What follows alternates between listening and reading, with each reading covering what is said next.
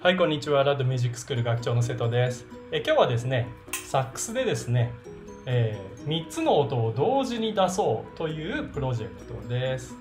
でサックスって言ったらねもちろん1回にね1個の音しか出ない楽器ですと。うん、でもねやり方によっては2個とか3個の音をですね同時に和音みたいにこう鳴らすことがね、まあ、できる裏技みたいなのがあるんですよ。なのでね今日はその中でも一番簡単な3つの和音を出すやり方をご紹介します。はいやり方なんですけどね。超簡単ですね。この写真見てください。ねあの指使い。こんな感じでやります。123、ね、これだけです。でオクタブキーは押しません、うん、であの機種によってねあのいろいろあの出方が違うのであのこの写真のようにもう一個ね指を付け足してもまあ、大丈夫です。どちらでもね、あの出るは出るので、あの自分のね、機種ね、どっちの方が出やすいかっていうのを試してみましょう。じゃあちょっとやってみましょう。こういう音が出ます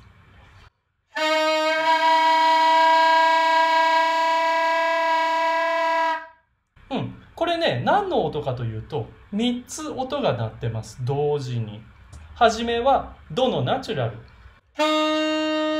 次がオクタブ上のドのシャープで最後がソのシャープこれフラジオですねこの3つの音が同時になってるはずですはい。で、この3つの音なんですけれども、一番低いこのドのところにですね、僕、シャープって書いてあるけど、カッコしてナチュラルって書いてあるじゃないですか。うん。これよく聞くとね、あの、ドのシャープじゃなくてね、ドのナチュラルに限りなく、えー、近い音なんですよね。うん、そもそもあのこの指使いっていうのはこの楽器ではそのありえない指使いをしてるのでこの3つの周波数が楽器の中で同時に鳴り響いているという本来ありえてはいけないバグ技なんですよ。うん、バグです。PC のバグと一緒です。なので非常に安定しないしあのアンブッシュはちょっとでも間違えるとすぐどれかの周波数がなくなってあの1個の周波数もしくは2個の周波数になってしまうので非常に、えー、結構難しいテクニックではあります。じゃあもう一回ね聞いてください。3つの音鳴ってますよ。いきますよ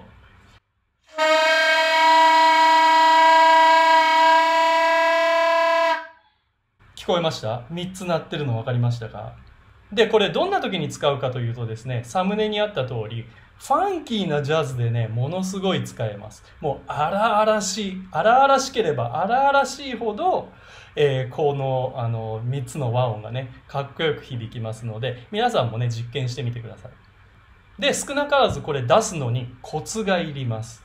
いいですか？まあ、通常だったらこういう高い音を出す時っていうのは、まあ、ある程度ねこのアンプショーが硬くなってもちょっとギュッと力入れても一応出るは出るじゃないですか。出るんですけどこの場合は違うんですよ。この場合は真ん中のどの音のアンブシュアと喉の形をします。あくまでもこのドーってなってる周波数を喉から出します。そして、えーと、指使いをさっきの指使いに変えるだけです。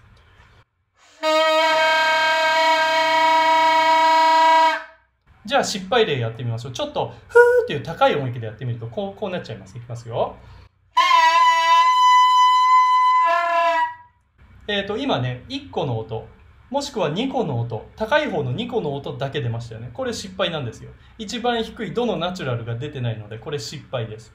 なので、えーと、絶対に唇に力を入れずにふーって普通のねどの音を弾く喉の形であ他何も力を入れずにやんないと絶対に出ません。もう一回いきますよ。これが成功例。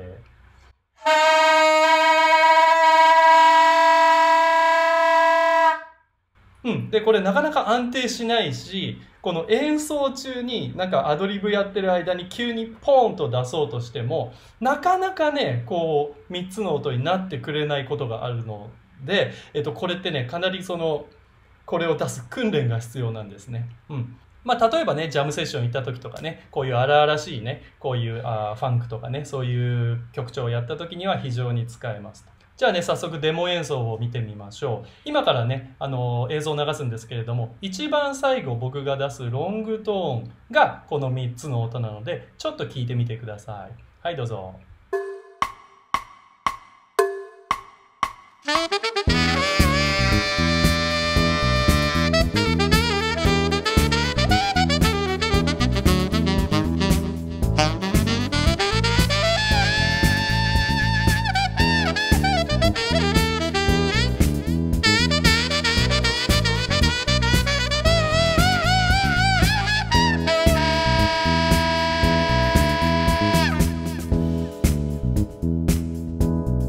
はいいかがでしたでしょうか？うん。ね、最後の音ね僕ねちょっと出そうとしたんだけど一瞬ね音にならなくてしばらく我慢したらちゃんとその3つの音になってくれたっていうね。